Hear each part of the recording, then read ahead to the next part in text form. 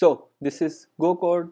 In this video, we're gonna see how to approach the CodeChef January long challenge problem, chef and modulo game. In this problem, there are three players. Each can choose an integer from 1 to p inclusively and the chef score is this equation and chef want to obtain the maximum score. Let denote the score by m. Now the task is to find the number of ways we can choose the triplet i j and k which is chosen by chef and his two friends so that the score will become equal to m. So let's solve the problem.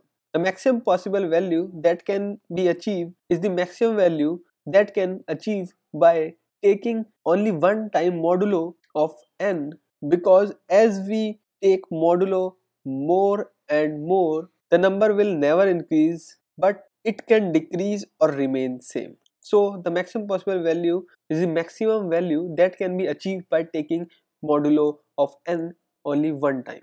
Let m be the maximum possible score that can be achieved. Since we want to take the modulus of n by only one number so there are three cases. When taking a modulo of number n by i. Now we want that m must not affected by any of j and k. To do so, we have to take the value of j and k which are greater than m. So in case 1 the possible value that can be chosen for i is 1 because i is the only number which gives the maximum answer in this case. So there is only one number exists. The possible values of j that can be chosen are the values which are greater than m.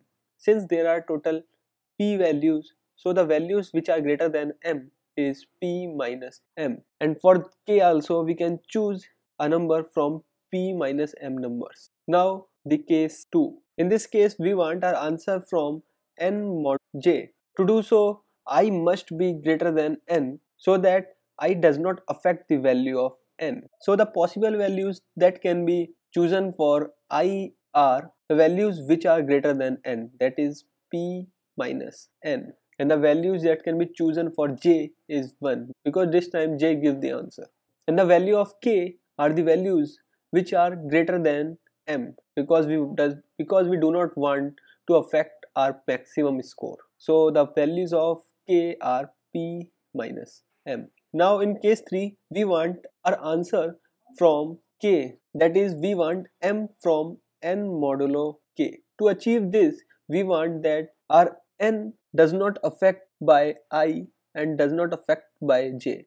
So the value of i and j must be greater than n. So the values which can be chosen for i and j are p minus n and p minus n and the value that can be chosen for k is 1 because this time k is give the answer. So these are three possible ways by which we can achieve our maximum possible score. So the total number of ways is equal 1 multiply p minus m into p minus m. This is case 1 multiply p minus n cross 1 cross p minus m. This is case 2 and p minus n cross p minus n cross 1. This is case 3. So these are the total number of ways by which we can achieve the maximum possible score. Now our task is what is the value of m that is the maximum possible score. The maximum possible score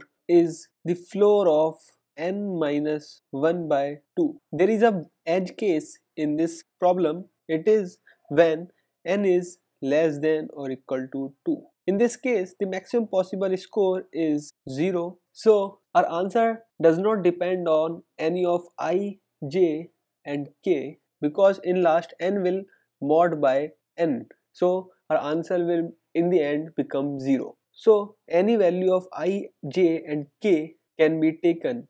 So the maximum possible ways in this case is p into p into p. So this is how we can solve this problem. The implementation part is given in the description. So we will meet in next video.